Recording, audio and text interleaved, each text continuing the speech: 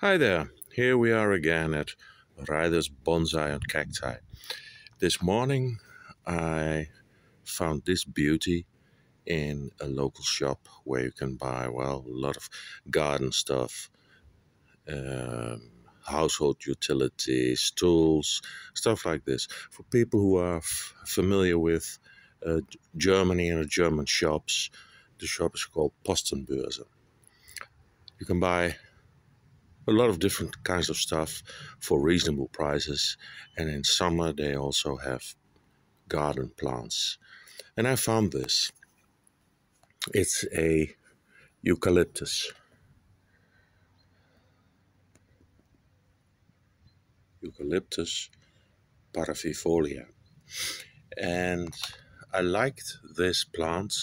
First of all, I don't have a eucalyptus in my collection yet um, and I thought, look at those tiny, tiny leaves. I will compare my finger to it so you can see the leaves are really tiny. And well, they had they had a lot of these plants, but look at the base. I really like the base of this plant.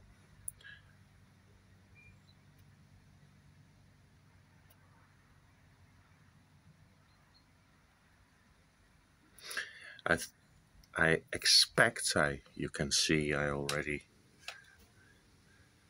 tried a little bit in the um, shop if there's any part beneath the top of the sand of the plant, you know.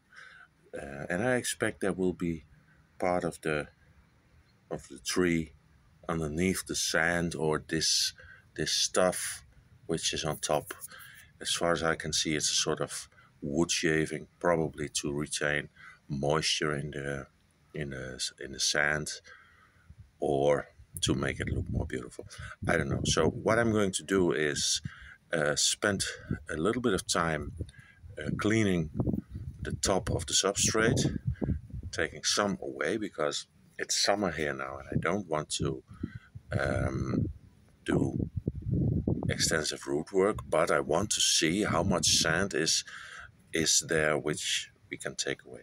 And then I'm I will be back